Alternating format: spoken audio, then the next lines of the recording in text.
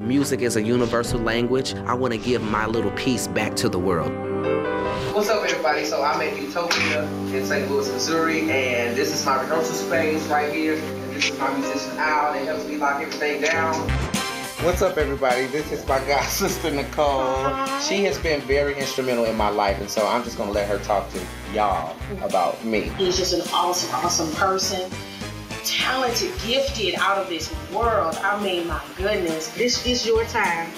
I already told you what's coming your way anyway. So it's about your time to get what you need to get and, you know, flourish in your dream. I think that my son, CJ, is the next American Idol because he has a great gift he has been singing ever since he was a little bitty boy. You should be the next American Idol, honey, because you got that thing. You got that, and you are an awesome, awesome person, and you are a believer, and you're strong, and your talent is what's going to take you to new heights. I love you, and I believe in you uh, so much.